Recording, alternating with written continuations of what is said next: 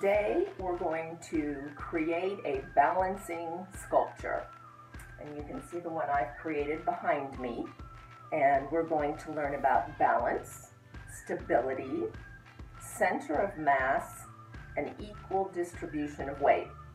So what I need you to do is to gather some random things. And you can see I've used some really kind of crazy things um, you can use construction paper, bottle caps, balloons, marshmallows, gummy bears, um, anything that you can really stick a um, skewer into will work and you will need a carrot. So if you can gather the some of these things that I've listed below, we will get started. Okay, I started with just a regular toothpick and break it not quite in half, maybe, you know, I don't know, break off a quarter of it.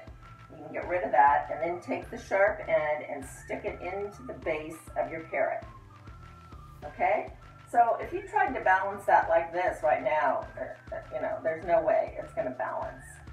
But what we're going to find is really interesting is when we start using these pieces and dropping the center of mass and working on the stability, you're going to be able to balance that carrot on top of your your bottle. So let's get started. So as you can see, I've got my toothpick stuck in the bottom of my carrot and I've created two balancing sticks on either side. And voila, it balances on top of the water bottle on just that tiny little stick. So what we can do at this point is to experiment with the balance and with stability and put some more sticks with balancing items on the end. And let's see how many of them you can put on to create your sculpture. You can see I've done some balloons, some bottle caps. I cut some shapes out of construction paper and colored on them.